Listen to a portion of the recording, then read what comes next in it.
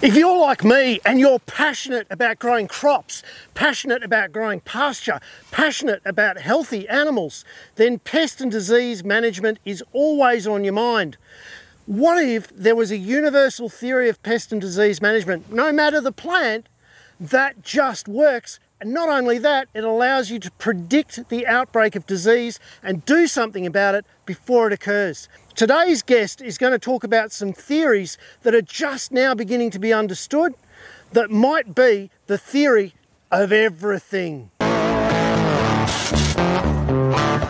Pete, how you going, mate? Excellent. Yourself? Good to see you again. Oh, mate, fantastic to see you in my vineyard. I'm going to get some good advice. Yep. What do you reckon? Flowering's looking good. Looking It is, very isn't it? Yeah. And we got the right weather at the right time for once. Finally.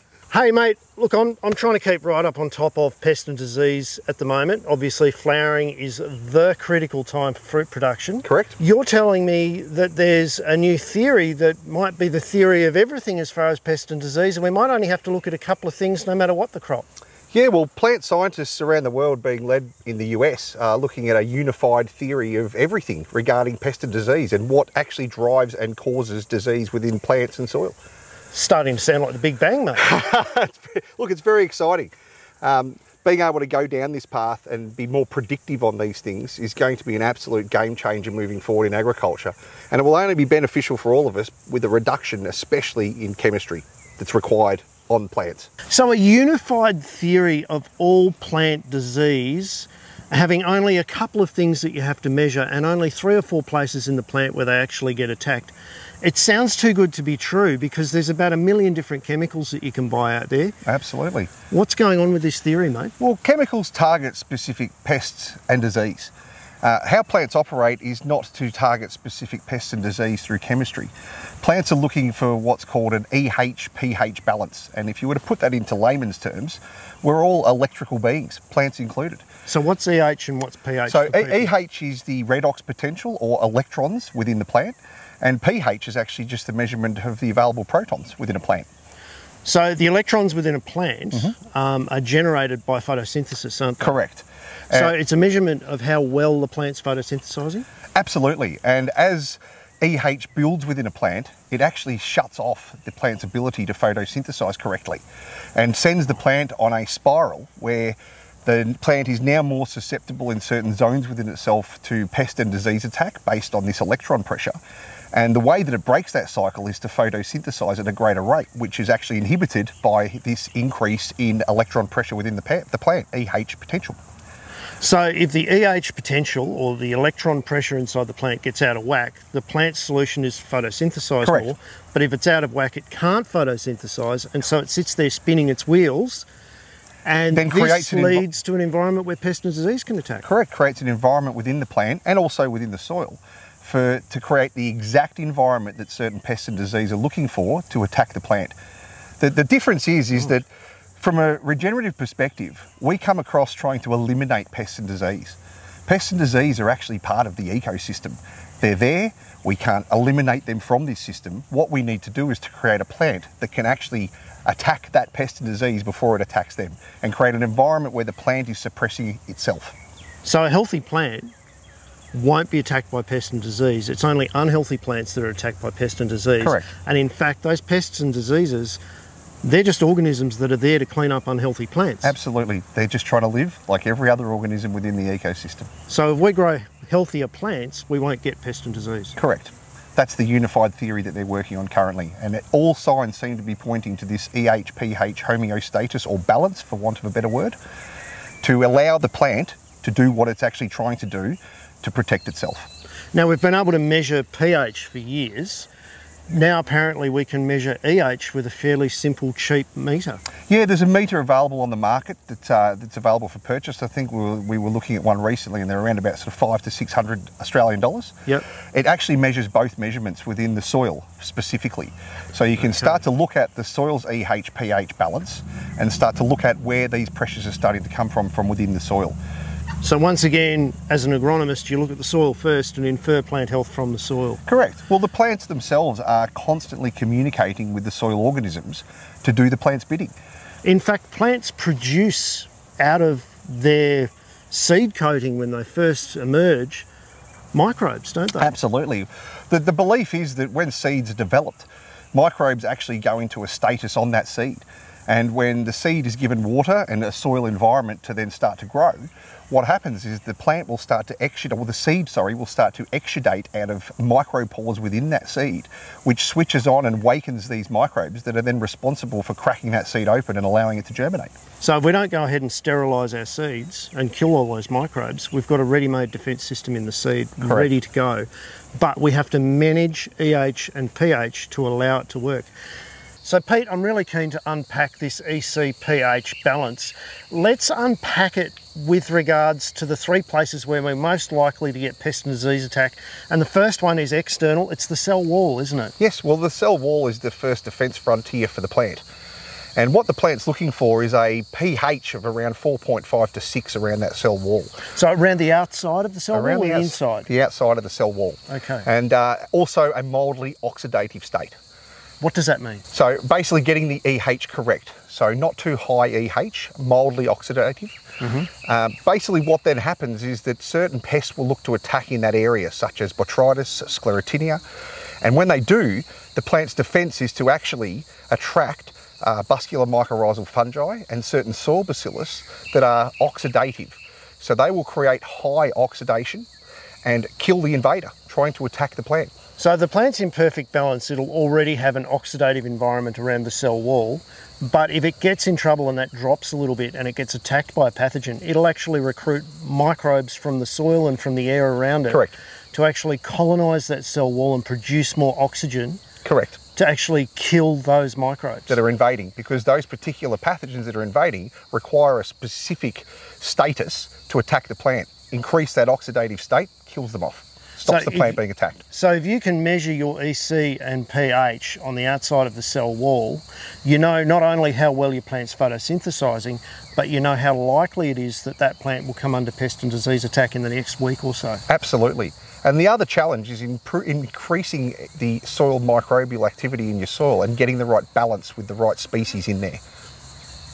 And of course, if you use classic pesticides and you go out with heavy metal sprays and things like that, the first thing you're going to do is disrupt your soil microbiome so your plant doesn't have its natural line of defense anymore and it's totally reliant on the chemicals that you're using. Totally reliant. You, you, you're literally taking away the plant's ability to defend itself by protecting it with chemistry, overuse of chemistry. So, what's the ideal EC pH that we're looking for on the outside of the cell wall? Well, the pH is around 4.5 to 6. Quite acidic. Quite acidic, yeah, a- a- an acidic environment. And when the actual pathogens can attack is they're looking at an EH of around, around, around about 450. Okay. So, we want to measure and make sure that that EH is lower than that 450 mark so that that sclerotinia, botrytis and the likes of those type of pathogens are not attacking the plant and don't have the ability to attack the plant. So it's not a case of as low as possible. No. There's a there's a range that's healthy. In each section within the plant. 450 in this new measurement for EH is ideal for stopping disease. Correct. We, we, we now know through this research the, the levels of EH within the plant that will attract pests and disease and viruses to attack at certain zones and regions within that plant. Say I measure my grapes today. It's been quite humid and Yes. so on, and I'm worried about say downy mildew. And I go out and I measure my grapes today, and they've got an EH of 600. How can I correct that and bring it down to 450? We need to drive photosynthesis.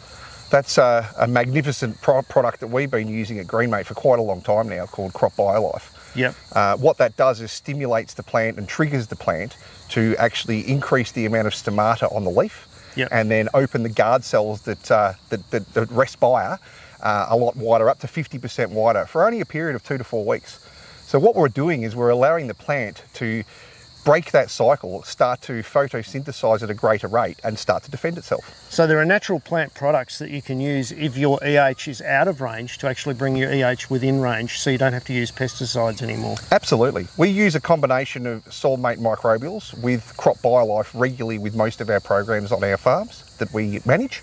And we do this to allow the plant to have the workforce and the particular species of biology that it requires at any specific time present within the soil structure to ensure that the plant has that pH EH balance uh, or homeostasis going on with internally within itself. So Pete, that's the cell wall. Correct. There's also an EH pH requirement in the xylem. These are the tissues that transport water from the ground up to the stomata and drive photosynthesis. These are, if you like, the up tubes Yeah. in a plant. Um, you can also measure the EH and the pH to determine susceptibility to pests in the xylem. We can. The, the EH state in the xylem is extremely electrical and quite volatile, and, and, a- and an entry point for things like verticillium wilt.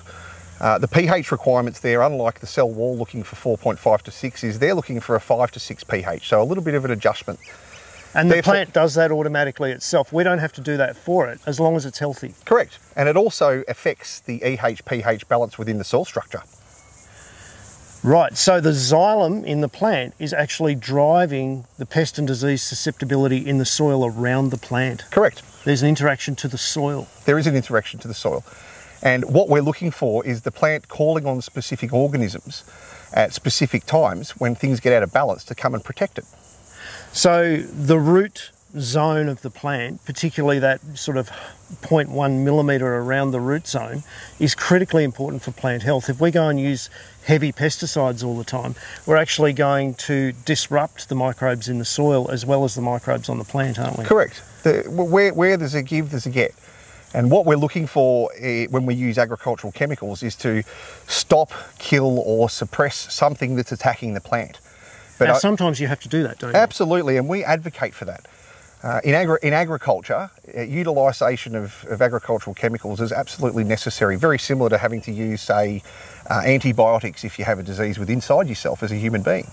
But what we're looking to do after that is to refeed the soil system, replenish specific microbes that are critical for the way the plant wants to attract them for certain pathogen and disease suppression mechanisms within inside the plant. Yep. And that's on us to ensure that what we're doing when we're doing something that's potentially damaging to the overall system but a protection mechanism, we're following that up with giving the plant and the actual ecosystem back those organisms that can respond 24 7 when the plant is requiring them. Because we can't be here 24 7. Pete, you made a really interesting analogy there just a second ago that I want to go to, and that is the use of antibiotics in humans. Chemicals to suppress disease on plants should be thought of as an antibiotic. If you use them, you're going to create damage to the natural flora, which keeps you healthy. So you've got to take a probiotic. And you shouldn't use them for a stub toe. You should only use them when the plant's under severe attack. So we should be using them a lot less regularly. Absolutely.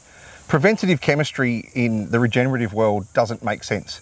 Preventative is allowing the plant to have this EH pH balance, provide the plant with the required microbes and organisms within the soil structure, balance the soil out with the required food source within that soil and the actual soil mineralisation that's in there for them to call upon, and allow your ecosystem to actually function.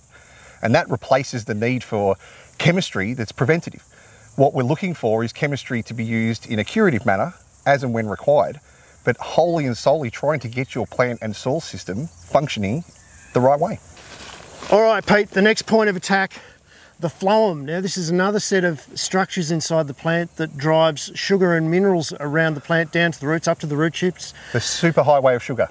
And it's all driven by energy from photosynthesis. Correct. This is the other place that pathogens like to attack, and there are very different EH, pH requirements in the phloem, aren't there? There is in this area, it's a very specialised niche area here where the actual plant is producing pH of around 7.5 to 8.5 and a quite low EH, under Yep. 300. Uh, looking for that area. And what happens is these particular uh, viruses, pests, they attack, they're only very niche driven. They can only attack when those conditions suit them to attack in that exact environment of higher, P, higher EH and uh, lower pH. And it's really interesting. Basically, the phloem is a basic pH, and yet it's carrying sugar. So the plant's working super hard to maintain that environment, isn't it? super hard, especially considering that in these three different zones within the plant that they're trying to regulate these three different EH pH balances to make sure that they're not susceptible for attack. So, Pete, it all sounds very complicated when we start talking about EH and pH and all the different levels around the cell wall and the xylem and the phloem. But the plant does a lot of it themselves. What are some things that we can do as growers to help the plant perform as it should to prevent pest and disease to begin with? Well, ultimately, Tim, we're looking to create an environment where the plant is not compatible with what the pathogens and pests are looking for electrically and nutritionally. It's as simple as that. And unfortunately, what happens in nature when a plant's in status, environmental conditions will create an oxidative state. So they go up and down. It might be too cold, it might be too wet, Yep. it might be too hot, it might might, be too pests dry. in the in the environment. There might be something going on. There might be pathogens in the soil. So what the plant's looking to do is to create the perfect balance within each of the zones within itself to ensure that they're not creating those niches for those pests, viruses, and pathogens to attack it. So what are the best ways that we as a grower can provide an environment where it can use those natural tools that are available to it? Well, the first thing is to test. And Yep. we now have these tests available where we can look at DNA of the soil, we can explain how the soil's actually functioning, whether you have the right microorganisms in there, exactly what pathogens you're dealing with, the stress adaptability organisms that are within the soil structure. We can look at minerals, we can look at nutrition, we can look at soil structure, we can look at a whole range of things. Then it's a matter of acting on what those tests are telling us. Improve the soil structure, aerate your soil, get the right organisms in there, feed your organisms, don't overfeed your plant. Don't put too much chemistry on your plant. Don't create an environment within your plant that it is changing its electrical and nutritional status that makes it susceptible and giving it the perfect environment for whatever's trying to attack it to get in and attack it. Someone very wise once said to me, the best fertiliser in the world is a farmer's footsteps. observe, observe, observe, Observe. seems to be your message. Absolutely. Observe, test, retest, and continually observe. The amount of places we go to where a farmer hasn't dug a hole in years, it makes my heart hurt. Dig a hole, have a look at what's going on in your soil, check out your soil root structures. Plant things that help your soil. Absolutely. We're looking for diversity. Nature doesn't work in straight lines and it doesn't work in orchards planted with all the same plant. That's not where they want to be. They want to be in an environment where there's diversity, there's different sets of soil microbes, there's a lot of different things going on to allow the plant to function and balance itself out as it sees fit and requires in each of these different zones within itself. And what we do is we get in its way. I've always, I remember one scientist telling me we need to get out of the plant's way. We're constantly doing things to the plant that are inhibiting its ability to function the way it wants to. And I suppose sometimes we do have to intervene, Absolutely. but don't. The big message from you today has been a revelatory one for me. Don't stop with the intervention. That's the point where you start. Then you've got to do rehabilitation after the intervention. Correct. It's just like if uh, I have a bit of a dodgy knee and if I have my knee surgery and then don't go do the rehab afterwards, I'm never going to walk again properly. What we Apply a pesticide, apply a probiotic. absolutely, and then retest to ensure that the environment and the soil conditions and the plant conditions have rebalanced themselves out.